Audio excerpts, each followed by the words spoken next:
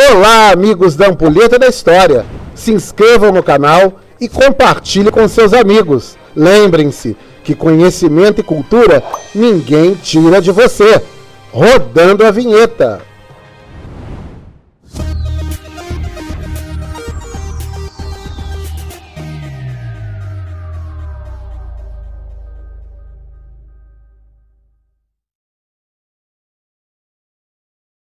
O segredo que mantemos. Um suspense drama americano, lançado no final do ano passado, 16 de setembro de 2020, com 97 minutos de duração, dirigido por Yuval Adler, produzido por Lorenzo de Boaventura, pelo roteiro de Yuval Adler e Ryan Covington, como protagonistas Naomi Rapes e Joel Kinnaman, Chris Messina. Um bom filme, daqueles que vale muito assistir poderia ter sido mais explorado, se tornando excelente. A história se baseia em uma refugiada romena da Segunda Grande Guerra Mundial, de nome Maja Hind. Maja vive em uma pacata cidade do subúrbio americano, com seu marido Lewis, um americano, e seu filho Patrick. Maja se tratou anos com um psiquiatra pelos traumas sofridos na guerra.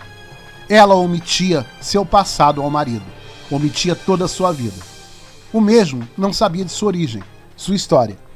Maja pertencia a uma família romá, família cigana. Avô, pai, mãe, irmãos, todos romani. A Romênia estava em guerra.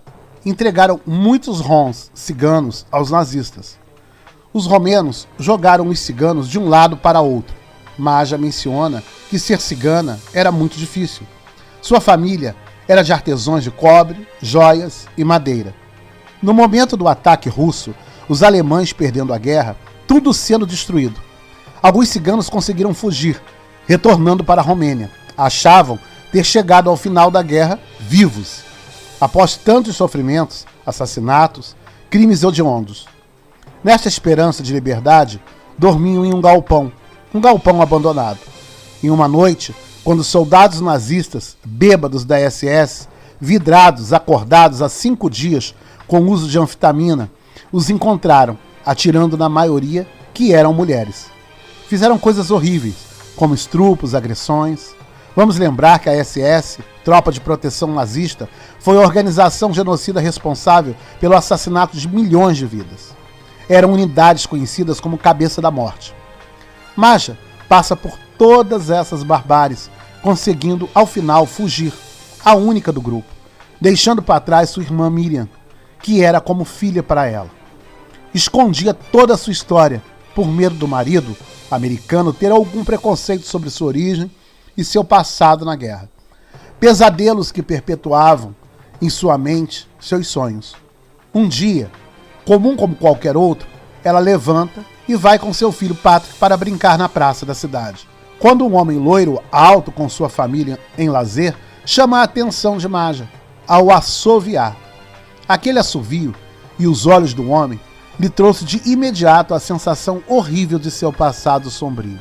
Ela tem a certeza de se tratar de um ex-soldado da SS. 15 anos passados vieram imediatamente em sua mente. Todo o seu sofrimento e de seu povo. Maja segue o homem para ter a certeza de que se trata do nazista. O mesmo vivendo bem com sua família, filhos, como se nada houvesse feito no passado uma nova vida. Dizia-se chamar Thomas, Thomas Steiner, ser suíço e trabalhador recente na refinaria da cidade. Maja consegue raptá-lo. É um homem grande, alto. Sua pretensão seria matá-lo, mas não consegue, levando-o para sua casa. Conta ao marido toda a sua história passada, alegando ter encontrado um de seus torturadores, estando no porta-malas do automóvel.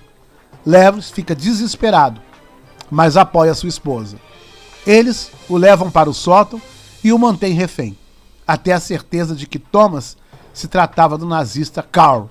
Marcha pede para ele falar com seu verdadeiro sotaque alemão e pede que repita palavras que disse na época, de Jauner a Fotze, ou seja, vagina cigana. Isso para Marja ter a certeza de ser o homem que gritava em seus ouvidos enquanto a estrupava. Ele nega ser Carl a todo tempo, dizendo ser Thomas e que era suíço. Thomas é dado como desaparecido. O vizinho de Maja, chamado Jim, escuta um grito na madrugada. Sem saber de onde veio o socorro, chama a polícia no dia seguinte. Maja consegue contornar a situação. Ela se infiltra na casa de Thomas para se tornar amiga de sua esposa, Raquel, uma judia. Vejam só.